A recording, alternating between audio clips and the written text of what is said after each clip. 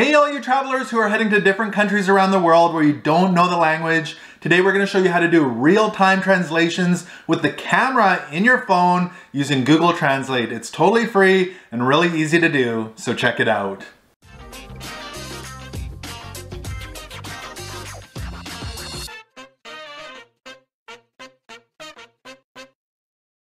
Hey everyone, welcome to Northern Viking Explorer. If you're new here, my name is Ken and we bring you videos on travel, exploring, and discovery. So make sure you click that subscribe button so you don't miss out on upcoming videos. So today we're gonna be showing you how to do live real-time translations on your phone using the camera and Google Translate. And it's totally free and really easy to do.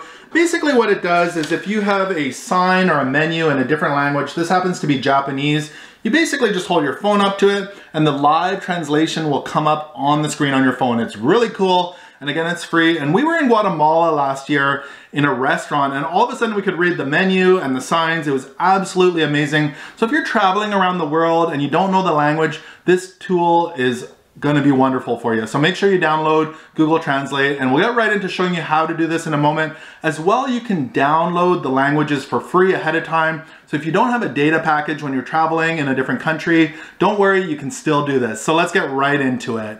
So go ahead and open up your Google Translate app and don't worry if you don't have it, it is free to download from the App Store. So the first thing we need to do is select the languages that we're going to be using for our translations. And over here on the right hand side where it says English, that's a drop down menu. And when you scroll through here, you can choose from a variety of different languages that you want to translate into. We're going to leave that on English today. Over here on the left hand side, there's another drop down box. For me, it says Spanish. And when you click on that, this is where you would select the language that you want to translate from. So there's a whole bunch of different languages that you can choose from. The one thing I do want to mention, all these little arrows on the right hand side, when you click on those, that allows you to download the file for offline use. So if you don't want to use data, you can download the files there. But today we're going to select Japanese and then we'll do Spanish after that and do some translations for you. So to get to the screen where you do your live translations with the camera, just click on this little camera button and the screen will switch right over.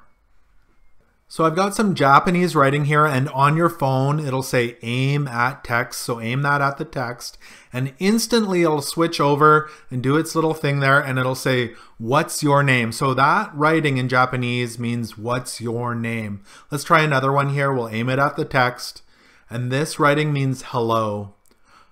Let's go ahead and switch it over to Spanish and try a couple more. So we're just going to switch that over to Spanish and we'll try this one out. Buenos dias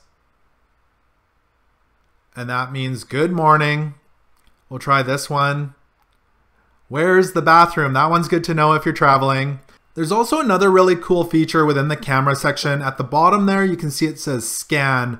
When you click on that, there's a little white circle that comes up. And when you click on that, it'll scan a whole menu or a box and translate all of it for you. So I've switched it over to French here. We're just gonna hit select all. And there's a blue stripe at the top. When you click on that blue stripe, it's going to bring it into Google Translate, and this is a pancake mix. It says start your day with delicious homemade style pancakes made with whole grain, whole wheat flour. Super simple and a great tool for translating more text.